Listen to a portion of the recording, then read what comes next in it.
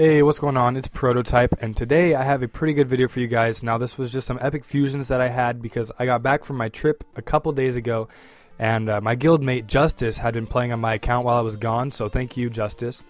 And uh, he crafted a couple epics for me, and uh, now those epics were actually just kind of epic boss collection stuff, and I did actually fuse one of those away, but since it was only the regular version, it doesn't matter. As long as you get the plus version of the epic, then it actually counts towards the epic boss collection. So anyways, I fused one of the new, newly fusible epics in this video, so I won't spoil it for you guys. I'll just let you know that that's in there. That's kind of a treat for you guys, and uh, I really, really hope that you enjoy this video, and I'll see you in the next one.